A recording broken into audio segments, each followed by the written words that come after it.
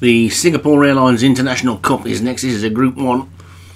And let's have a 10 furlongs. The four-year-olds and upwards. Got a good-looking field for this. Alpha squad at the top for Joshua Sutherland, Angelic Trap, Darren Thompson, Costa Mesa coming for Vinnie Gerard, Hookham, Dan Hughes, Johnny Guitar, Leon Van Rensburg, Monsoon Sunrise, Paul Rose, Scottish Warrior, Jim Murray, Society Lansing, CDJ Liggett, Stranger Tides, Padraig Hoban, Trapanga Lavella, Darren Thompson, Ultimately Brook, David Robertson, Action Girl, Craig Beckwith, Hope Swell, Dan Hughes, Humanity's Saviour, Leon Van Rensburg, and One Eyed Man, Derek Hinton. 15 of the men installed and ready to go. And away they go.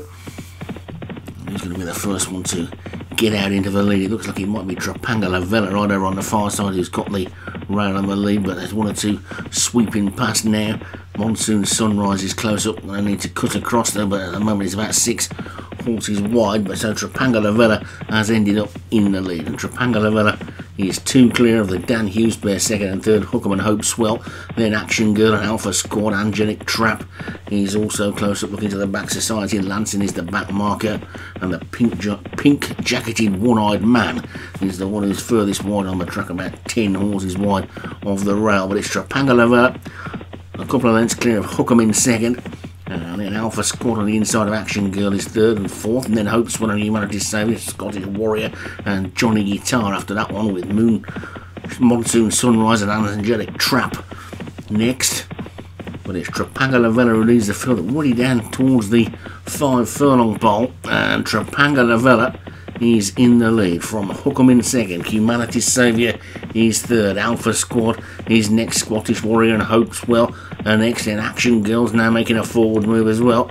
But it's still Trapanga Nevada in front from Hookham. Humanity's Saviour trying to come to join them. Action Girl is in fourth. Alpha Squad on the inside. Stranger Tides has now come out of the pack as Johnny Guitar is dropping away. Scottish Warrior is still there as well. But it's Trapanga Lavella who's in the lead. Trapanga Lavella is a couple of lengths clear of Hookham in second. Then Action Girl, Humanity's Saviour, Stranger Tide, Scottish Warrior trying to get back into it. Alpha Squad is there. Monsoon Sunrise has got work to do between these. It's Trapanga Lavella with a furlong and a half to go. Hookham charging along in second. Stranger Tide is third. Nothing else is going to get into this. I don't think it's Trapanga Lavella with a furlong to go. Trapanga Lavella is in front. Here comes Hookham on the outside and wider on the track. Stranger Tide is finishing well, but it's Hookham who's hitting the front and Hookham is racing away towards the line. Hookham's going to take it.